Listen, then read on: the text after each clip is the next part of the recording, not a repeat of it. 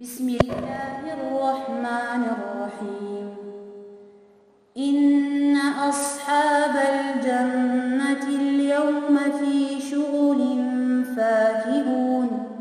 هم وأزواجهم في ظلال على الأرائك متكئون.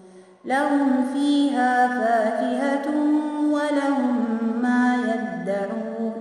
سلام قولا الرحيم. وامتازوا اليوم أيها المجرمون.